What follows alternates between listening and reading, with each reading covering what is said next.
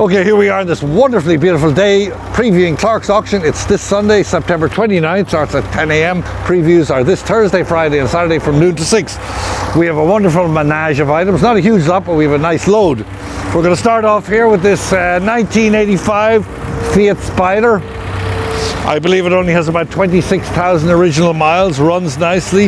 It has a hard top, soft top. Needs a bit of a clean, but we get around to that. Bit smaller than my own personal Cadillac here, but a nice car. I believe it's estimated six to 9,000. Okay, into the main room. Nice compact little sale, wonderful art, wonderful sculpture, wonderful Asian, wonderful everything. Okay, we're gonna start over here. We, we have a pair of chairs. These come from Scarsdale. Very heavy, looks like a rosewood. Beautiful bronze mounts on them, great quality. Plenty of bronze mounting on it with the griffins here and the feet here. Egyptian sort of revival feet on them. In between the two chairs, we have this wonderful marble top French console. Sort of shabby chic looking with the paint, but wonderful. Take a look at that specimen type marble on top of it. Atop this, this came from Queens or from Long Island actually. We have this wonderful chrome uh, abstract sculpture, and this is by a Canadian artist. I believe his name is Grediaga. Anyway, nice big size. Here to, to the center of the room, we have a wonderful color round Karl Springer table. This has two leaves, slightly as is around the edges, but that can be stained back to normal. And as in the house in uh, Harrison, seated around the table are five leather casino chairs. All five of them estimated six to 900, I believe. And matching the color nearly on top is this really beautiful Tiffany Studios Acorn lamp Wonderful original shade, beautiful patina on it, nice base. The shade is signed and numbered. The base, I believe, is not signed. However, it is definitely Tiffany nice original patina. Okay, before we move in the main room, as always, we have, once again, we have another Steinway. This one is a Model S, mahogany case. Uh, nice case, nice shape. The board seems to be in pretty good shape. The case is a bit scratched, so it could do with the refinishing anyway. You should send whoever it is in to check it out. It's estimated lightly at two to 3,000. Before we go in the main room, we have this wonderful uh, Dancer bronze. Look at the height of it, it's going to be four foot high. This is by a, an Australian artist called Guy Martin. Okay, and to the left of that, extra large size Mathurin Moreau. On the top, its original base, but I believe the actual bronze, which is signed and it's got its foundry stamp, is 41 inches high, just the bronze, so an unusual size. This one's estimated two to 3,000. Into the main room. Okay, nicely decorated. The boys have done a good job again. We're going to start with some of the smalls here. We have a nice selection of clocks and grandfather clocks in the sale. This is a bronze little mantle clock. Here, this lyre form clock, I believe, is a company called Deverberie from Paris. Below here, oyster plates, stemware, bronzes. We have, uh, for you smokers that are still left out there, we have a selection of pipes, including Dunhill and handmade pipes. Over here, we have this absolutely wonderful little, um, what would you call it, miniature. Little miniature could be used as a jewellery box, but a beautiful bronze mounted and porcelain mounted French commode. We have some Versace porcelains, two lots, two, two patterns, two nice big groupings of Versace porcelain. Moving along here, back to some clocks. We have this Tiffany uh, Tiffany Studio or Tiffany Co. It's a uh, ship's wheel clock. We have Le Coultre Atmos clocks. We have French carriage clocks. Below here, we have two large pieces of art glass. Look at this big, large piece of Favrile. We put them down as Loetz, but we figure maybe it's not Loetz now. Okay, we have more sculpture here. We have this Wedgwood uh, bust of Minerva. Now into the mid-century, we have a lot of generic and a lot of name stuff. We have this pair of open front bookcases. We have this pretty wonderful desk here. This came from a local estate, came with this chair. So the chair sits there. Nice lines on it, no name on it, but nice lines to it. Came with another lot of three chairs. And on top of this, we have this Lucite. I don't know if it's an ice bucket. Has an interior, and this is obviously Karl Springer. This is shagreen, slightly as is. It just needs a bit of gluing. Nice mid-century desk here. Two things I like in the sale, these two little lamps. Glass base, nice marble little center, but nice delicate lamps. Noting all the time, we got plenty of carpets on the floor. We have this wonderful pair of, wonderful pair of I would say, Macassar, you know, uh, wood pedestals in the sort of Ruhlmann style. We have Danish modern, this nice rosewood oval table with two leaves. Nice clock here in the style of Mackintosh. Moving right along to our, I suppose you could call this used furniture. We have this nice bow front, little satinwood server. Nice handmade one, a little bit of inlay. We've got lots of small end tables. And here we have a nice bronze mounted leather top bureau plat, nice thick bronze, nice quality heavy duty bronze, good size. Atop this we have this oh, wood carving, probably Italiano, 17th or 18th century. It goes together with the bust. To the right of it, this is a really wonderful bronze bust. This is signed Fortini, Professor Fortini. Nice big size, beautiful quality. Over here, I, I like this one myself. It's good weight on this bronze, but it's a peanut lamp. Nice quality, nice gilding. We have below that an Art Deco dental cabinet. Here we have a Louis XV1 style gilt wood and carved little settee. Nice with the uh, faux skin backing, nice leather interior. Ready to go into the house, all good, good, well upholstered. Here we have a set of six Louis XV1 style chairs. Nice sort of shabby chic looking, but good and strong chairs, nicely upholstered. And in inside of this, we have this table, Louis Philippe style. This is bronze mounted. Could possibly be Jansen. It's got great quality. It has one large leaf and two smaller leaves. As I said, we have a lot of grandfather clocks on the sale. We have these two here. There's a pine one. Let me get my glasses on for this fellow. This is John Waldron Cornhill from London. Big clock. This pine clock has no name on it. Nice early clock though. Over here, back to our sculpture, we have this Russian bronze grouping, signed. Look at the size of this maybe slightly as is there, but anyway, this is a nice, look at this for a big size. Where do you see one that size anymore? We have an interesting pair. Look at these large pair of sconces, sort of torchiere style. Big sconces. This is uh. This armoire, nice Art Deco burl walnut armoire by Leleu to the used furniture. Normally we don't take in these sofas, but it's actually a really comfortable one. Actually, I was going to have a doze on it the other night. That's why I decided to include it in the video. Nice, comfortable, nice down-filled.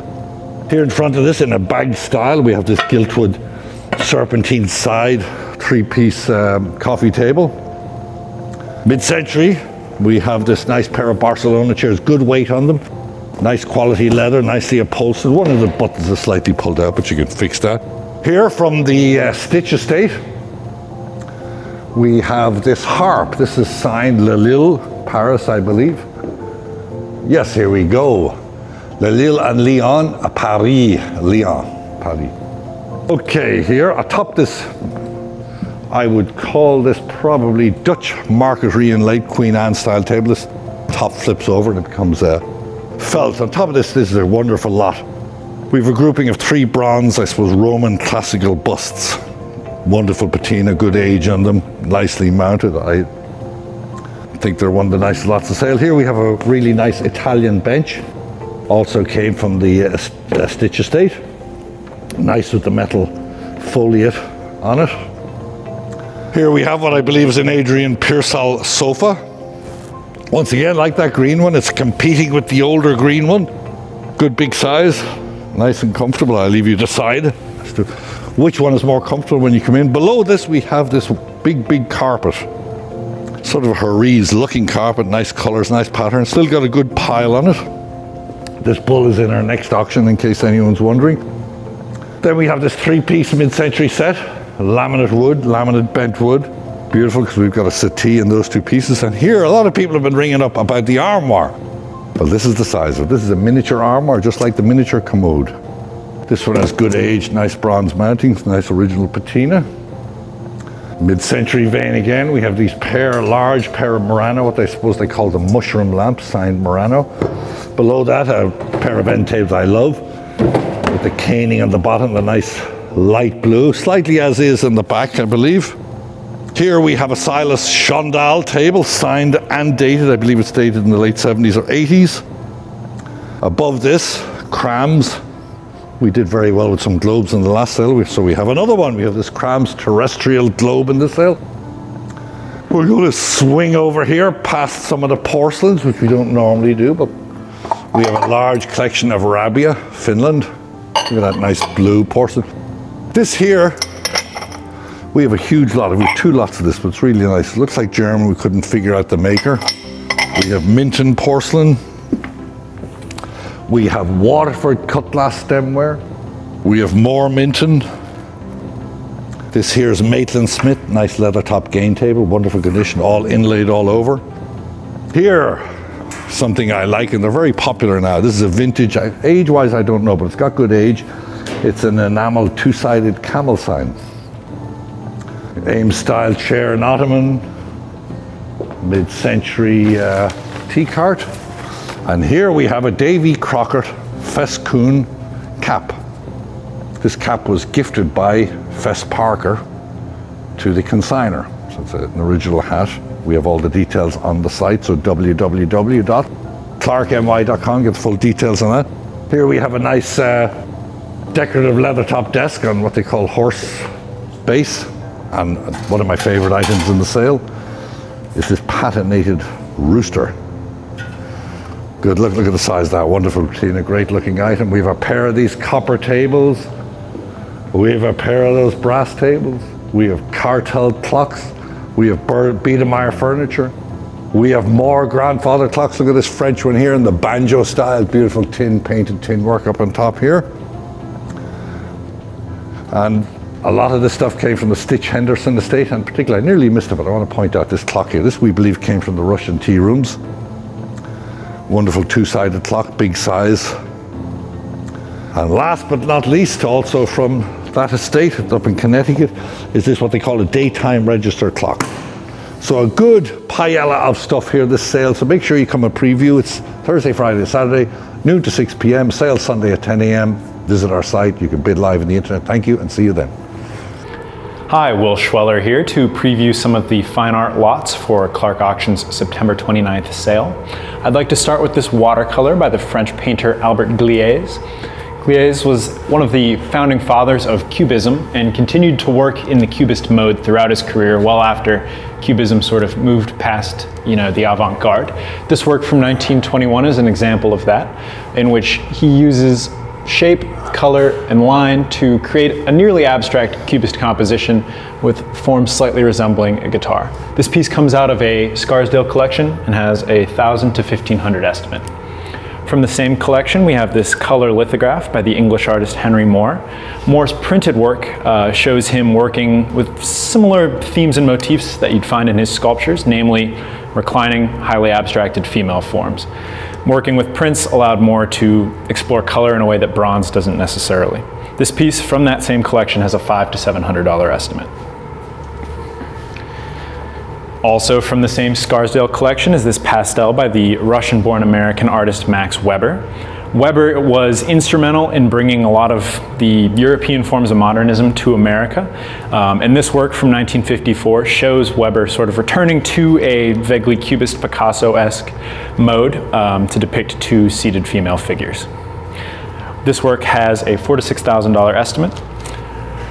Above that, we have a oil on canvas from the American illustrator Edmund Franklin Ward. Ward studied at the Art Students League with Rockwell and worked alongside Rockwell at the Saturday Evening Post, producing illustrations for stories and advertisements uh, throughout much of the 20th century. This work here shows figures uh, recoiling in horror and almost has a, a, pulp cover feel to it. This work comes from a New York City collection and has a 1,000 to $1,500 estimate.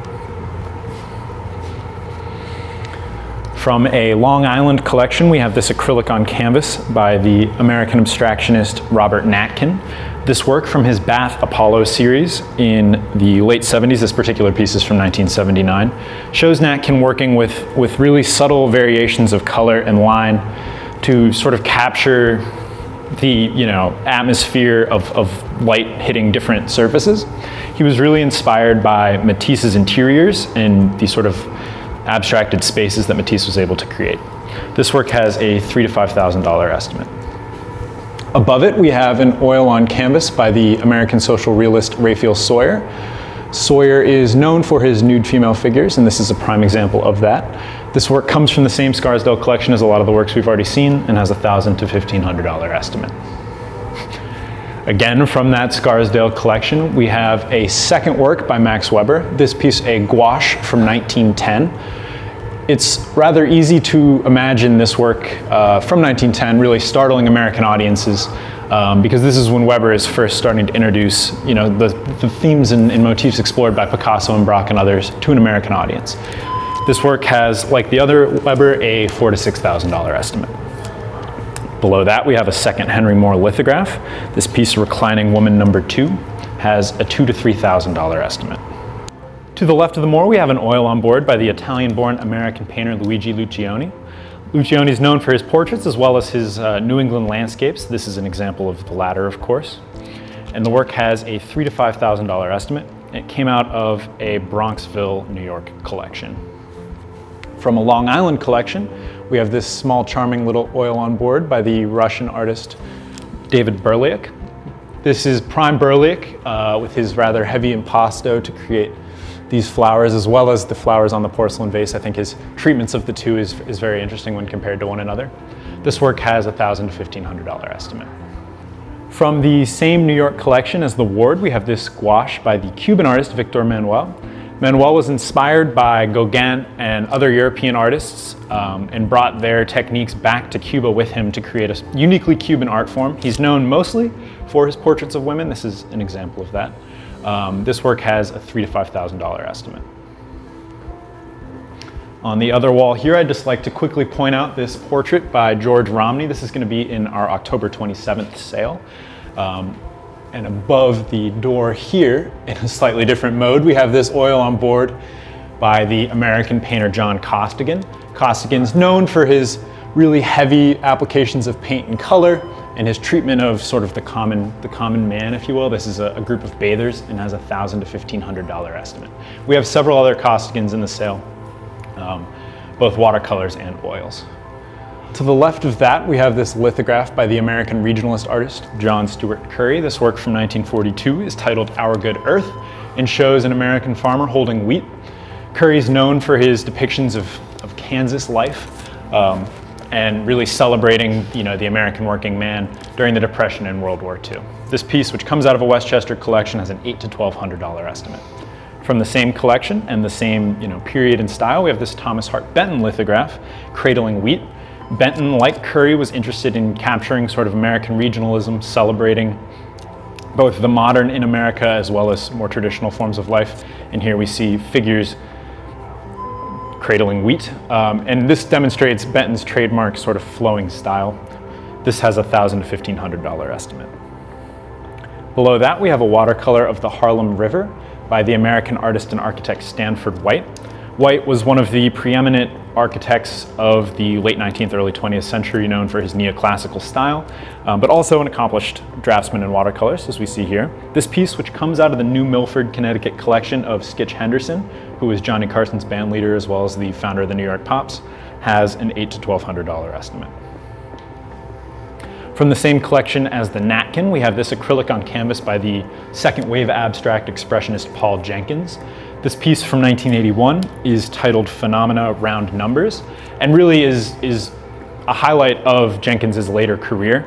While his early works tend to have sort of more flat applications of paint, like this passage here, this piece shows a, a rather dramatic use of impasto, which is, which is something that he developed late in the 70s uh, and was really mastering by the early 80s.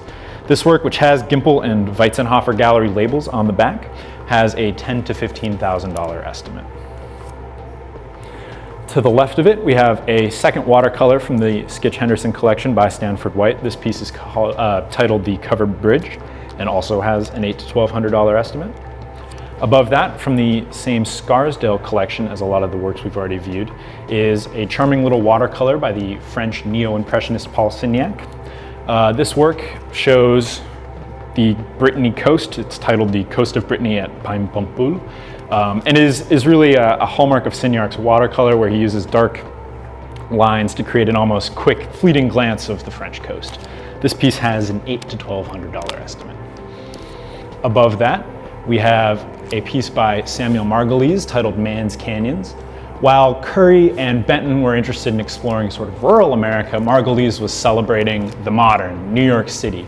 And here he uses the Chrysler Building and the Empire State Building to create a really sort of abstracted, pure Manhattan that is you know almost as grand as a, a, Moran painting of the Grand Canyon or something like that. This piece has a four to six thousand dollar estimate and comes out of a Westchester collection. To conclude, I would like to show this watercolor by the German-born American modernist Oscar Bluemner from the same Scarsdale collection that we've already been uh, discussing. This work, which shows a countryside scene, is trademark Bluemner in its use of color to really create a mood. Bluemner was an early proponent of color theory in the modern and worked to create primarily landscapes that sort of capture the avant-garde feeling of European painting, but in an American context. This work has a six to $9,000 estimate.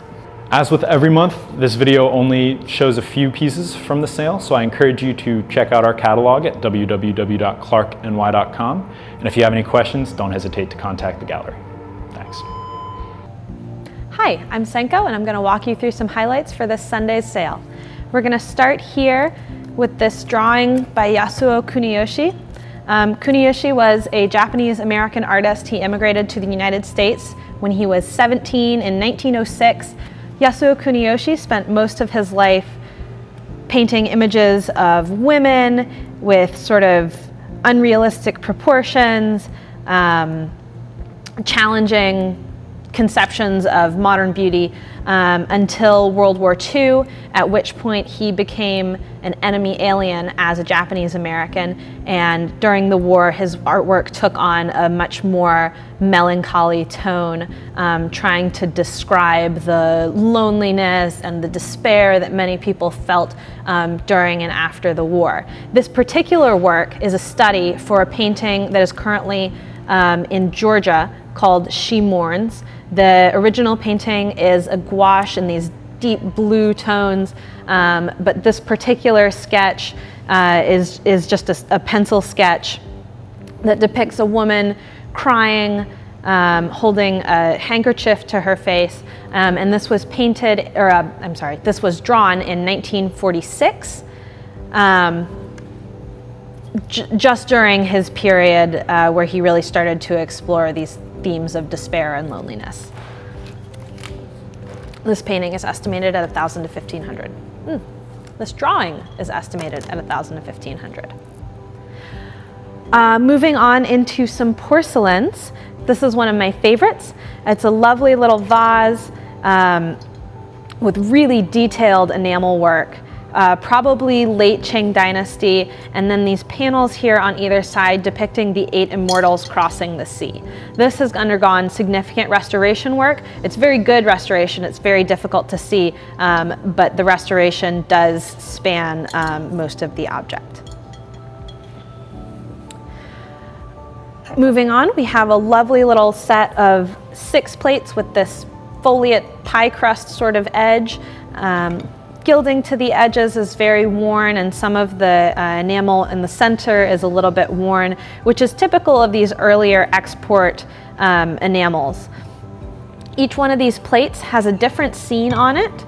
Um, these are all scenes of sort of recreational activities within either a palace uh, courtyard or within um, the, the courtyard of an upscale family. Um, and you can really see the detail here on each one of the robes, how, how delicately it's been painted. Um,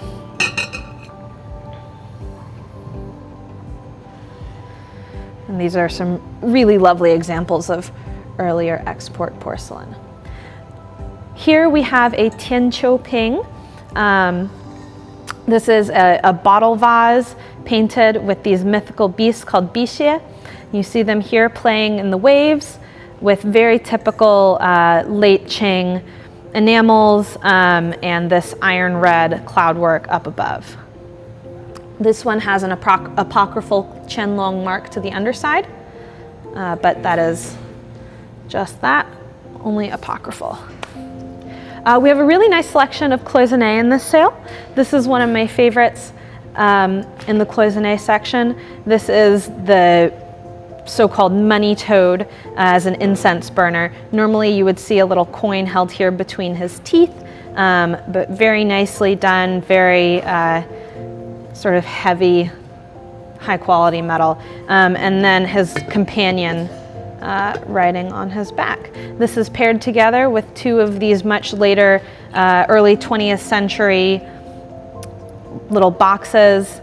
Um, each one of these has a mark on the underside that corresponds likely to a pattern that um, the artisan was following. This is a lovely little Buddhist altar you would expect to see a Buddha seated here, probably in the same cloisonne. Uh, the Buddha is missing, but the altar, all the same, is very beautiful. Um, we've got this lotus pattern here to the underside. I love how the, the red sort of fades into the, the white, creating this pinkish um, gradation to the blossoms. Um, and this is decorated all the way around to the back as well. With these apsaras uh, flying up here that would have framed the Buddha nicely, um, whatever was sitting here. A lovely pair of yellow ground candle prickets. Um, these two are very nicely enameled, probably a little bit later than this one, um, and also with enameling on the underside. Uh, it's just a really lovely pattern, really bright yellow, typical of the imperial family, but unlikely to have been associated with them. Uh, we have here a pair of Tibetan butter lamps. These are traditionally uh, filled with clarified yak butter, um, and a wick is then lit in the center. These are meant as a meditation aid um, for monks. Finishing off our porcelains here. We have a pair of copper red vases. These two are separate lots, but it's interesting to be able to see them together and next to each other. Um, this one is a little bit older of the two. And You can see this very fine crushed strawberry glaze here. Um, these sort of splotches of darker red uh, dripping down across the body of the vase and then fading into this beige tone up at the top near the mouth. This one has a blank underside, but um, the color of the glaze and, and the way it is modeled suggests that it's a little earlier than this one, um, which is more of this liver color, a little more typical of the late 19th century. Um, we have an apocryphal Kangxi mark on the underside, and you get these little splotches of almost green, which is an attempt to um, imitate the peach bloom glaze but not quite successful. Um, finally, these two little horses, you would normally see these in a set of eight, but they're really just, they're so expressive. Um, and we've got this little apocryphal Qianlong mark to the underside, very nicely, cleanly done um, with a little, uh, a little circle of unglazed biscuit on the underside um, that indicates probably early 20th century manufacture. Um, this is just a cute little bit of coral carved in the form of a lioness. Um, you can really see all of the details here. You can see her ribs, you can see the way the skin folds at the back of the neck, um, and you have these lovely little splotches of white in this salmon colored coral. This is estimated at three to $500. Now my overall favorite in the sale is this beautiful little wedding cup.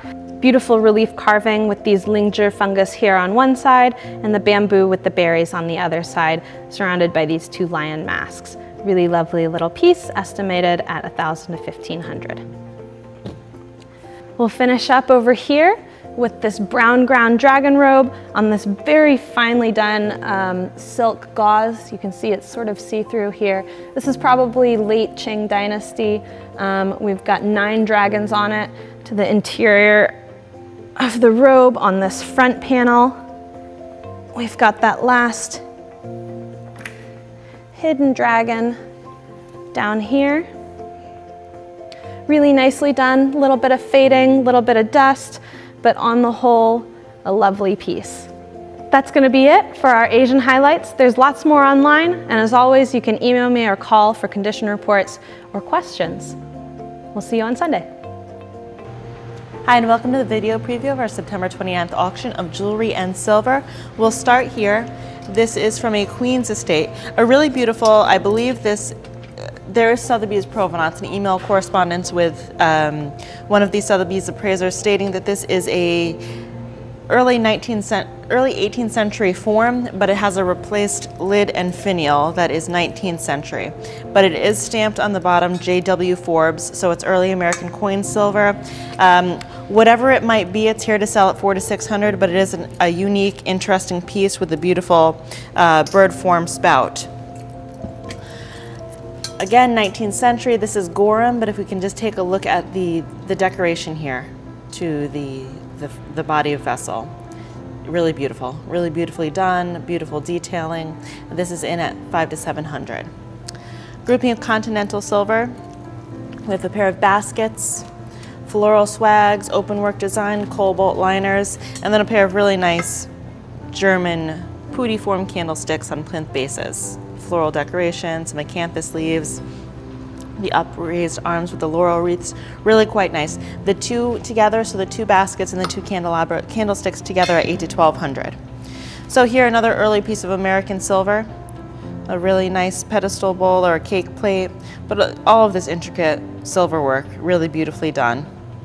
Nice base, you can see all the detailing. Again, this is Gorham. English silver, so 18th and 19th century English silver, so we have a silver salver, and then this open work compote. One of these groupings that I particularly like, uh, these little objects d'art or little decorative accessories. How sweet is this guy? A little porcupine. I believe it's a toothpick holder. It's silver plate, but he's sweet as can be on this later marriage of a wooden base. We have some cabinet bronzes, we have some Russian kiddush cups, some other little bronzes, but probably the nicest piece in this grouping is this early American Shiebler. So it's sterling with the applied bugs, so we have dragonflies and flies and a spider. And you open it up and guess what? It's corkscrew. How cool is that? And all of these pieces are together at four to 600. Another really nice piece of early American silver. So this is Kirk. So it's uh, out of Baltimore. Typical Kirk work with the heavy repoussé floral design, um, the paw feet, really beautiful. It is early, so it is 19th century, and this is here to sell at 8 to 1200. France, Reed and Barton Francis the First Flatware Service, really nice, pretty straightforward what it is. So we have the beautiful uh, fruit and foliate form design to the handles. Here to sell at 8 to 1200. Another nice American flatware service. So this one is Gorham, really nice, nice handles. Nice in the fitted case. Again, here to sell at I believe 8 to 1200. We have a Tiffany and Company service, so this is the Flemish pattern. Some pieces are monogrammed, some aren't, but it's a heavy service, really great quality, so nice weight to the pieces. This is a pair of Alvin Sterling glass vases with the silver overlay. Really sweet at 3 to 500. And one of the cooler pieces in this sale is this really nice Gorham World War I shrapnel cocktail shaker. So originally on the interior of the base there was a carrier and you would lift it up and there would be I believe four or six glasses and then on the top so this all fits together I'm not going to be able to get this off because you're all watching but it's a cocktail shaker so you would shake up your drinks in here the lid comes off it's all marked on the bottom so it says facsimile 18 pounder shrapnel shell. And this is by Gorham and it's circa 1918. This is 1,000 to 1,500. Moving on to our jewelry, a lot of really nice pieces in this sale. Um, 14 karat gold interlocking hoop necklace, really nice statement necklace. In the style of Victorian slide bracelets, so these are all 14 karat gold. This one's actually a watch, so it's a watch face. So it just opens up right here. But really nice, some carved chalcedony, a cameo, garnet, tiger's eye, etc.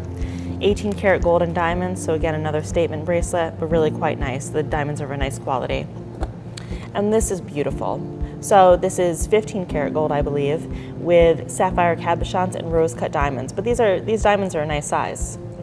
So they are rose cut diamonds, so they're flatter opposed to the round brilliant cuts, but a beautiful design and quality to these pieces. This is Tiffany & Company, so it's 18 karat gold with the five round brilliant cut diamond accents, and this is estimated at two to 3,000. coral beaded bracelet with the cameo, 14 karat gold, so it can be worn just as straight or you can make it a torsade. So you can twist it around and give it a different look, but really pretty at four to 600. David Webb with the three bands of diamond accents, again 18 karat gold and platinum. This is by Henrik Caston, who he did, a, he did a lot of collaborations with Salvador Dali. And he was also known for working closely with opera singers and musicians. And by consignor provenance, this was made for her, her mother, who was an opera, her grandmother, who was an opera singer. Um, so it's beautiful, and this I believe is um, one of the Thai goddesses for music and song. So it's a really nice piece, stamped verso, diamonds and rubies. Let's see, we'll move on to here. So this is 18 karat gold and platinum with the pearl and the bicolor surround of white and yellow gold. Pretty at five to 700. And this is one of my favorite pieces in this auction. So this is a moss agate brooch and it is Victorian. Um, with the enamel surround and little trefoils of rose cut diamonds. But if you can just take a look, really take a look at how, how beautifully centered this it, it's essentially an inclusion. So what you see in diamonds, what determines its value, this is also an inclusion, but it's terribly beautiful. I mean, really phenomenal. It looks kind of like a piece of coral. I mean, it's just a wonderful organic form. And it is inscribed verso, so you can actually probably see the image better on the back side just for video purposes, but it's phenomenal. I mean, it's really, really beautiful. Uh, moving on, a more contemporary piece. This is a pair of Elsa Peretti for Tiffany 18 karat gold earrings with the original dust jacket and box.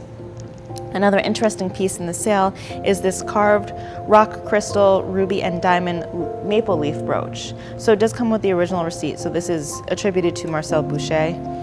Um, really quite nice. This is a 14 karat gold Swiss mint repeater. So I'm going to press this button and hopefully it'll work for you. So you can see that it is in working condition. I can open the front for you, see what else it has to show you. So here it is. Really nice at 8 to 1200. Um, a little suite of Henry Dunay. So this is hand hammered gold. So let's see, put it on here. Really quite nice. So it's kind of the, got this faceted, hand, it's more than hand hammered, so faceted design. It's 18 karat gold with the matching earrings. Really nice. Um, 14 karat gold crown with the blue enamel decoration and diamonds. A little three-piece suite of Mabe pearls, enamel, and gold. We have a, some coins in the sale, so these are all US $5 coins. So these three, these four are together, and then we have a single 1907 US $10 gold coin. Uh, moving on, this is a grouping of 18 karat gold earrings. So I believe that these are by Irving Katz. It came from his estate. Um, and these two pair of earrings are together at five to 700. A nice pearl necklace grouping. So we have pretty typical single strand with the gold clasps. But then this is a really nice diamond inlaid floral clasp. I mean, this can be repurposed. I know pearls aren't, aren't the hottest item at the moment, but this is a beautiful, beautiful floral clasp. And this is also, this is platinum with a diamond surround, and I believe that the center is glass, but it's quite nice. And this is a Chimento, so the Italian maker of Chimento. It's 18 karat gold, and it's the Figaro chain. Here to sell at 6900 This is a beautiful, beautiful antique ladies watch. So it actually it was repaired. So typical of these um, these mesh bracelets, there were some some snags, but it's been repaired since. Really nice diamond surround. I mean, it doesn't get nicer to this. Can you imagine where the, what this has seen? This bracelet. Um, and this is a Bustamante sterling brooch, and then this is papier-mâché of Noah's Ark in at two to 300 with the original little dust bag an Omega wristwatch, 14 karat gold, out of a local Larchmont estate. And then this is a little interesting, 14 karat gold and inlaid pendant. So large inside, we have a dragon on one side with the pearl and the ruby eyes. And then here we have some carved coral, opal, rubies, turquoise. So really interesting. It comes with this little piece of paper. I don't know where the paper came from, but it describes what's included in this piece. Out of our Philadelphia state, we have a, a double strand pearl necklace with the 18 karat gold emerald and diamond closure. 14 karat gold, kind of a lavalier or a bolo form necklace with the little pineapple tassels. Um, interesting piece. And this is just an outstanding, outstanding piece out of Irvington. So this is a beryl, so a very large 157 karat beryl with opal drops and diamonds. But I mean, this is phenomenal. Just look at the quality of the stone. There's not an inclusion in sight. Um, this actually, this is, this came from Doyle. So this sold at Doyle, I believe 10 years ago with an estimate of 15 to 20,000 and it's here to sell at five to seven. And it even comes, I mean, this is just quality when you have a fitted case for a, a pendant of this size. I mean, I could only imagine how they made the case just to fit it. But that's here to sell out of Irvington at five to 7,000. Here we have a cameo out of Philadelphia, and this is in the style of the Roman imperial cameo. So this is carved sardonyx, and you can just see this is Flora. So this is the goddess Flora. Um, how they use the the different layers to make the background and the face and then the flowers. So it's all these different shades of color with the nice pearl surround. It's beautiful, four to 600. Interesting 18 karat gold brooch. It has an inscription on each of these green stones, enamel surrounded diamond accents. More contemporary piece, this is a gilt silver Judith Leiber with the, its costume, but it's really, it's a good looking bracelet. So it's really in right now, nice statement piece. Um, and again, here's another nice contemporary piece. This is by Maurice Katz. So it's 14 karat gold with the carved bone and a single band of diamond accents. I love this ring. I mean, it's really such a great cocktail ring. Really, really nice. This is a Walker chronograph watch, interesting, 18 karat gold, four to 600. And if we can just take a picture, a peek at this picture, this is at GIA right now. So this is an emerald that went in for its country of origin and identification report. It's deco, it's beautiful, it's set in platinum with tiers of diamond accents. It's really quite nice and it should be back by tomorrow. So please check back on our website for all of that information um, and one of my favorite silversmiths. Um, this is a William Spratling sterling all-form brooch with the ebonized wood eyes. So it is fully marked verso at three to 500. Again, out of our Philadelphia estate, really just so sweet. It's a carved lion, and I do believe that this is amber. It's 14 karat gold mounted. It was something else at one point because you can see that it was drilled as a bead. So I don't know what its previous life was, but it's here as a little brooch or pendant, and he's really well carved and beautiful another funky ring in the sale, carved stone, mounted in 14 karat gold as kind of, I guess, a grape.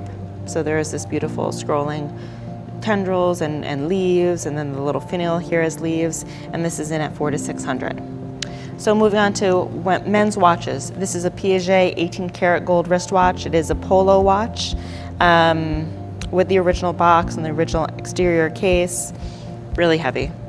I mean, I believe, I believe it's somewhere around 93 pennyweights. So this is a significant watch and is a great look the graduated band. Other watches, we have an 18 karat gold Rolex Oyster Perpetual. We have a Hamilton Thin-O-Matic. We have a Bulova Accutron. And this, never, I've never seen one of these before. This is a Mont Montblanc Meisterstück 18 karat gold chronograph watch. And you can see the open escapement, or the with the half plate. Really nice though. A really good looking watch. I mean, I wouldn't wear it, but I think some guy out there would surely appreciate if somebody wanted to buy it for him for the holidays. Um, and then this is a Baume & Mercier. This is a quartz movement, but it's a nice looking watch also in the tank style. And moving away from watches and into some more jewelry, we have this graduated, individually beaded coral necklace with a 14 karat gold closure uh, 14 karat gold. This is Victorian with the, the bird carrying the letter, the cannetille motif here. It is a locket, so it does open verso. Uh, the bail did, there was a bail at some point, but that's an easy fix. It's beautiful, three to 500. This is an Italian 18 karat gold oversized charm with the putti, with the quiver of arrows, turquoise cabochons, carved flowers, 8 to 1200. 1.22 round brilliant cut diamond. This is EF color and SI3 clarity, but really a good looking ring, flanked by the diamond accents and set in platinum. Three seal stamps or, or fobs. Excuse me. Uh, we have this one with a little bloodstone, so it has a familial crest. This one is again a familial crest, and then this one is so sweet with a little lamb.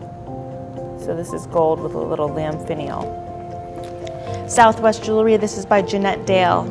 Um, so she is still a working artist, squash blossom necklace, but beautifully, she kind of made her own twist on the squash blossom. So it's not the typical parachute beads and Naja pendant.